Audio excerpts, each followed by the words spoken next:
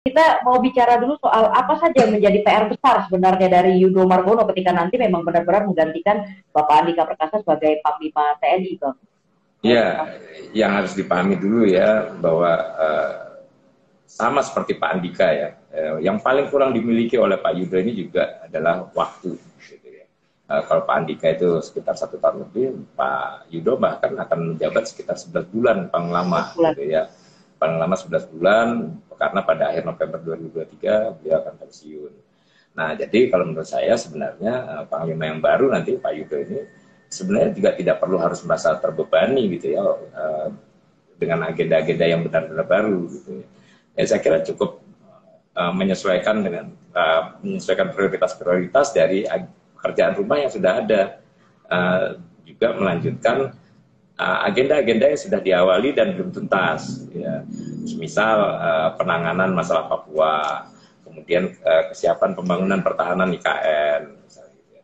terus uh, yang tidak kalah penting ini soal pemantapan interoperabilitas matra. Ya. Nah, karena kalau kita bicara tantangan masa depan ini, dia tidak hanya melulu di darat, melulu di air, atau melulu di udara gitu, enggak. Jadi interoperabilitas ini jadi hal yang penting. Kemudian uh, juga uh, bagaimana menyiapkan respon strategik atas potensi-potensi uh, dinamika di kawasan. Ya. Kita tahu ada potensi eskalasi di kawasan utara maupun di selatan perairan Indonesia.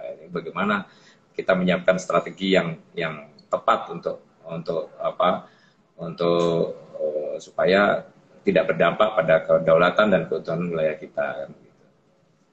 Yang saya kira akan menjadi uh, apa namanya uh, uh,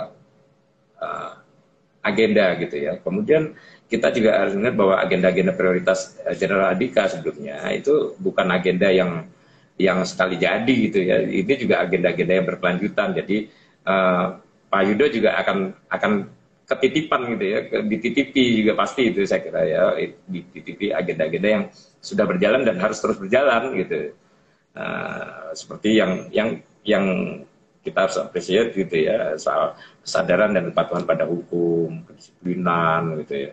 Uh, kemudian memastikan uh, bagaimana semua aktivitas TNI itu bisa uh, didasarkan pada ketentuan perundang-undangan yang tepat dan benar.